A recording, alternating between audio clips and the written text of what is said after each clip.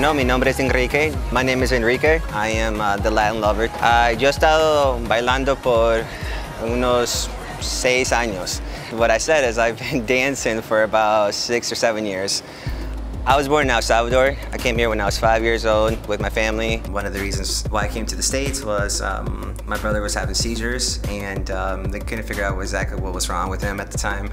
Luckily in the States, they were able to find doctors that were able to help him out. Before I started dancing, I was working 40, 50 hours a week and um, I felt like I wasn't living. I, I felt like I could get more through life. I always wanted to travel. I always wanted to experience you know, the world and see what life has got to offer. Also at the same same time, I was struggling to make ends meet, and so I started doing this. I started noticing that I liked it. I started developing a passion with dancing, and um, now I'm here.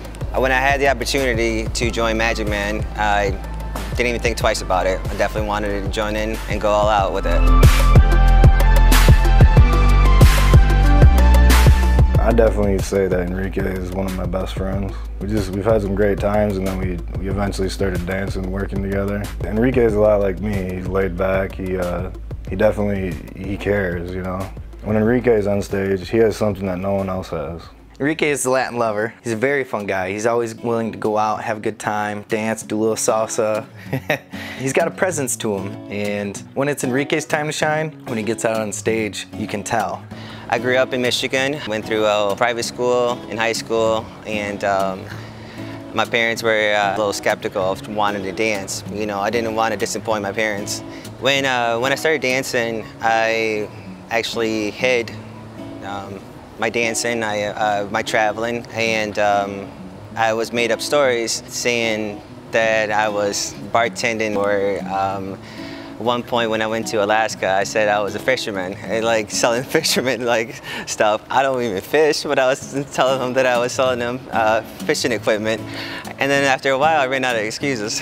and so I finally had to tell them. And now they definitely know um, what I do. And also they even came to the show. And I was super nervous. And after the whole show was done, I asked her, did you have fun? She's like, yeah, I enjoyed myself. My parents are both are okay with it now. They know that it's a job and they're very proud of me from where I started to, to where I'm at now. I've had a lot of ladies who said, because of the show, because of seeing you on stage, seeing how you dance, seeing you smile on stage, makes me feel better for myself. It makes me feel welcome, it makes me feel that I can be alive again. That to me is touching. That to me is, is crucial and I love, I love when I hear stories like that.